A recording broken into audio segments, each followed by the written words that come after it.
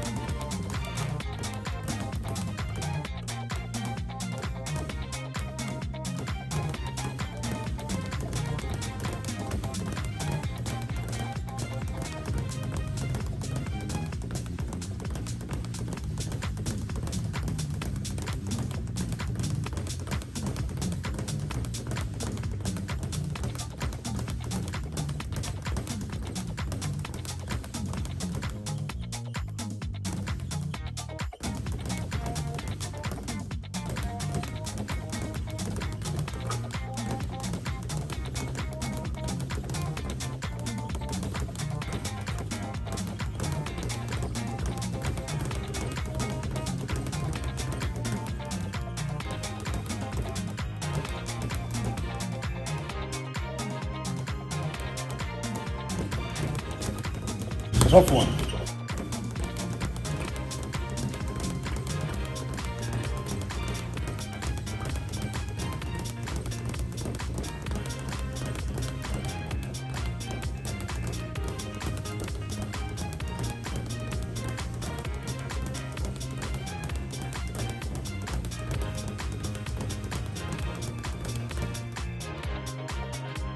So he's ripping up more. We're almost there.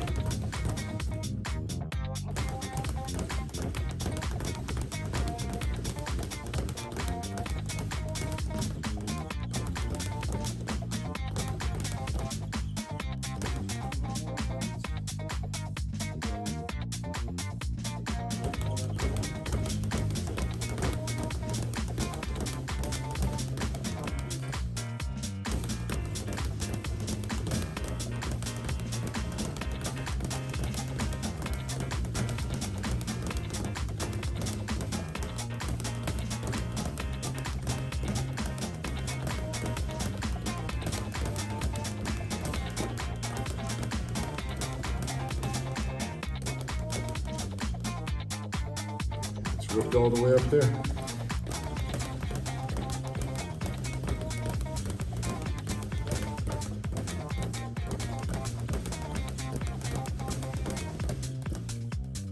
Just focus on power, see if we can pop that. I Don't know if we can.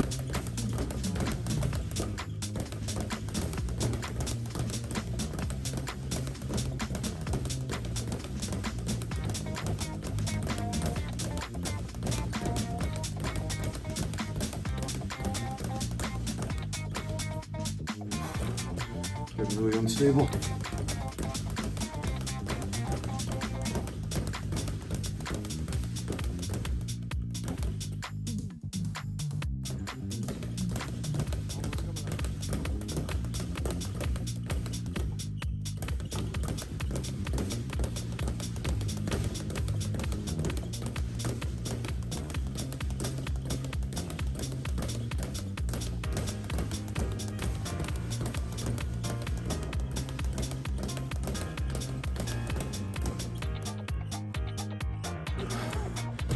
hanging on my thread.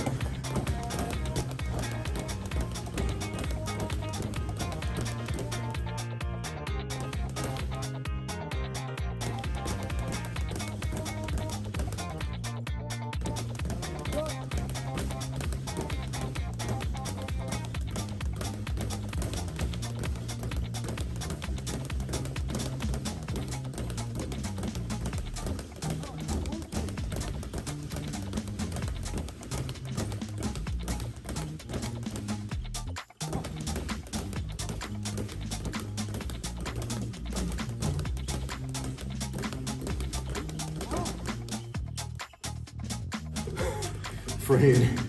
It's pretty bad. It's not completely destroyed yet, but the balance is going.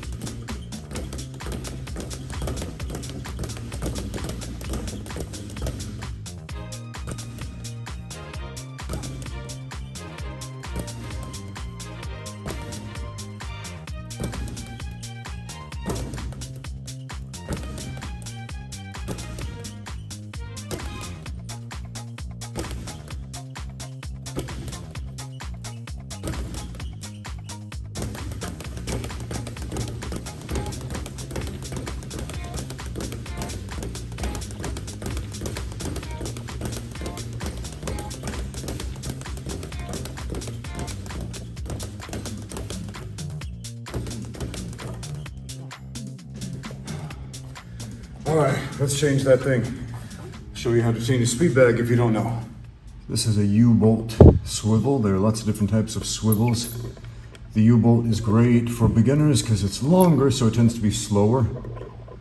A lot of cheap speed bags come with a chain link swivel, which I think is one of the worst for beginners, even though it's one of the most common ones that's sold to them.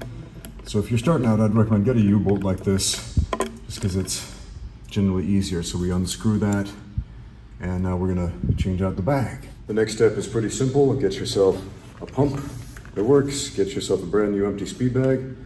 The air doohickey to fill it up is in the bottom.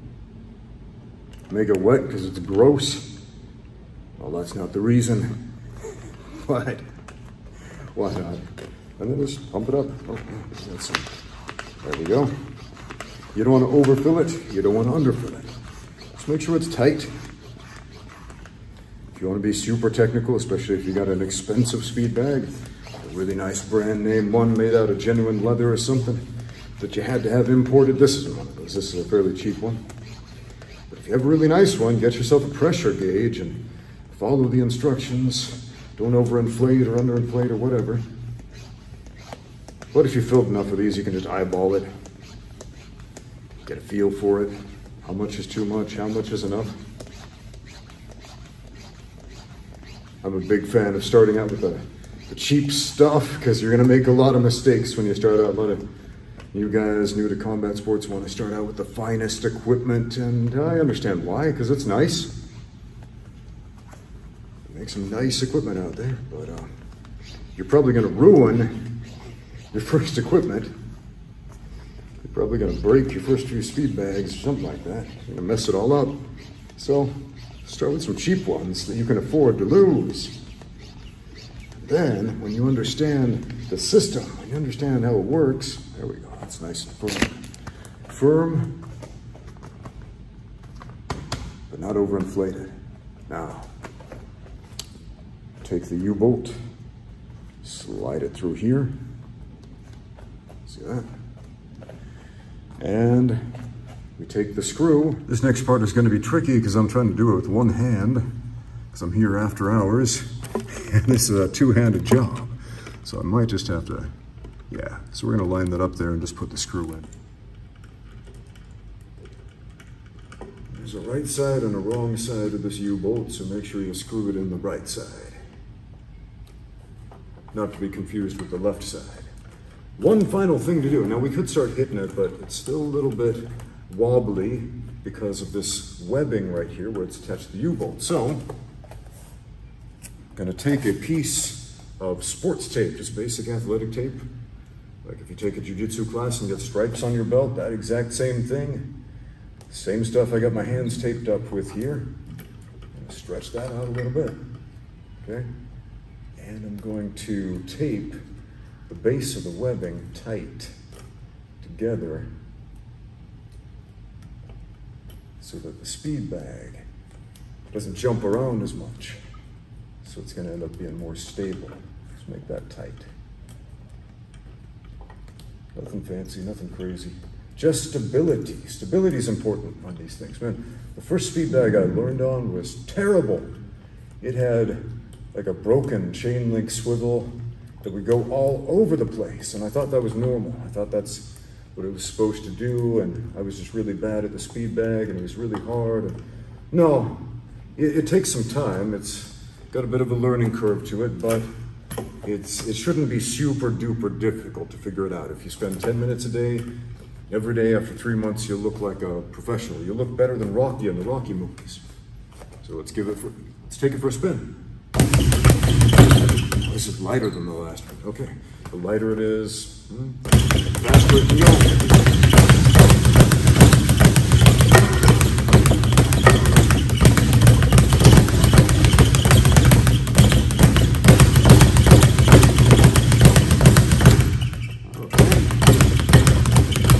Different weight is going to take a little bit of getting used to.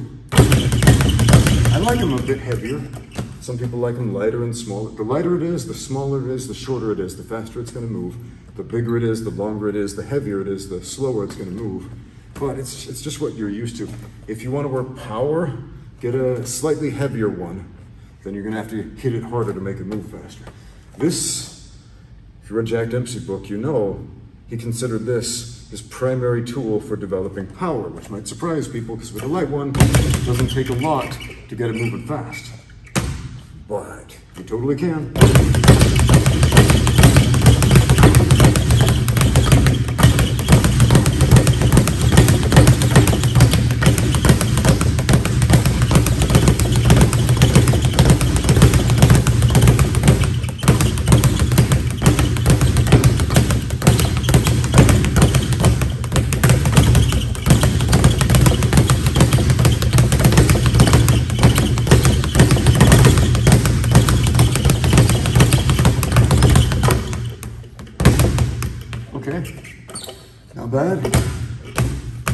Great, but not bad.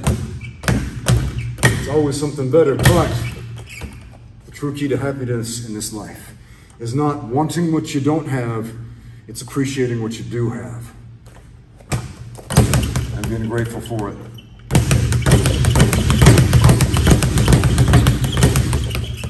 I got a lot of messages from people saying, "Oh man, I'm so jealous. You have a nice gym to work out. You, you got these, you got punching bags, you got mats, you got a boxing ring, you got all this stuff."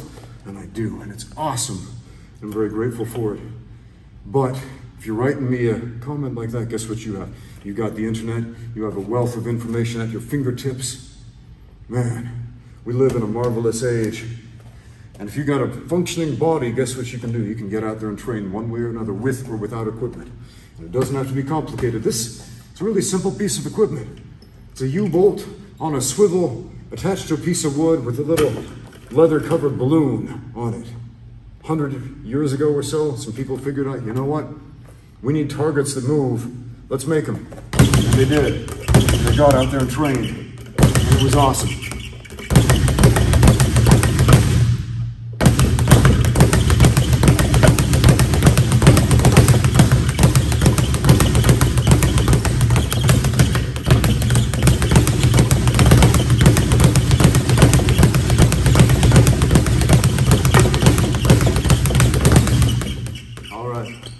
That's how you change a speed bag. Thanks for watching. Now get out there and train. Fight forever.